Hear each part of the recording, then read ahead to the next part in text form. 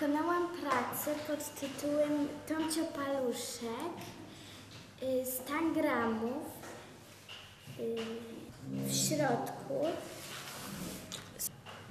w środku książki są ruszane elementy.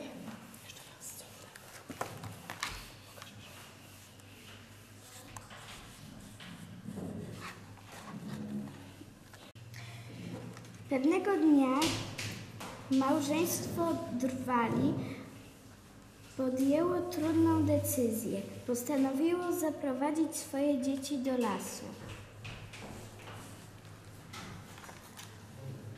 Tomcio Paluszek, który znał plan rodziców,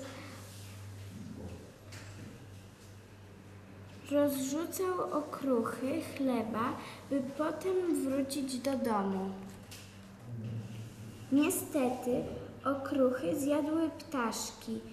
Dzieci zorientowały się, że się zgubiły. Nagle w oddali zobaczyły wielki dom.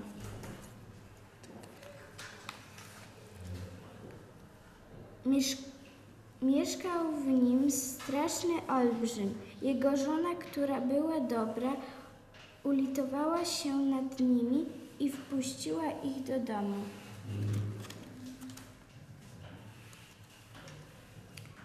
Musicie wyjść, zanim przyjdzie mąż, bo inaczej was zje. Ukryj nas, błagały dzieci.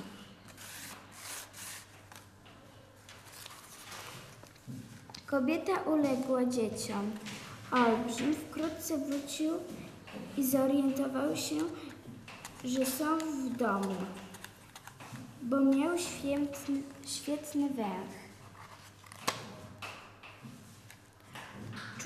Dzieci, krzyczał i tak długo szukał chłopców, aż trafił na ich kryjówkę. Kobieta próbowała odwrócić uwagę męża. Zos- zostaw ich, zjedz kolację. Przygotowałam ci kurczaki, które tak bardzo lubisz.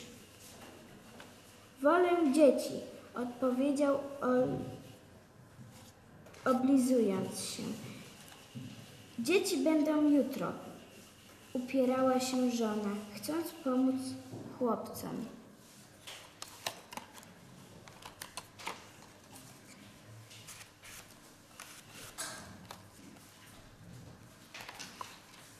Następnego ranka, gdy tylko Olbrzym zorientował się, że dzieci uciekły, wcie, wściekł się, założył zaczarowane buty i pobiegł. Pogoń za Tomciem i jego braćmi. Zobaczysz, że ich znajdę. Odgrażał się żonie. Olbrzym postanowił odpocząć. Gdy ujrzał wielkie drzewo, uciął sobie drzemkę. Podczas gdy spał, bracia zdjęli mu czarodziejskie buty i uciekli w nich do domu rodziców. I żyli długo i szczęśliwie, a dzięki zaczarowanym butom Tomcio został posłańcem króla, a jego rodzina nie głodowała. Na początku, gdy miałam zrobić książkę, nie wiedziałam, y, co zrobić. Postanowiłam zrobić taką książkę, którą dawno nie czytałam i bym chciała po prostu zrobić ją, bo mi się bardzo podoba. Y, elementy wystające było łatwo zrobić, ponieważ mają pod spodem jeszcze kilka warstw kartek grubych, a elementy przesuwane było ciężko, ponieważ y, ciągle się odklejało i nie chciał się przesuwać. Najpierw miałam inny pomysł na wystające wszystkie postacie, ale potem postanowiłam, że będą się przesuwać. Czujesz się autorką? Pisarką? Nie. Dlaczego? No przecież napisałaś.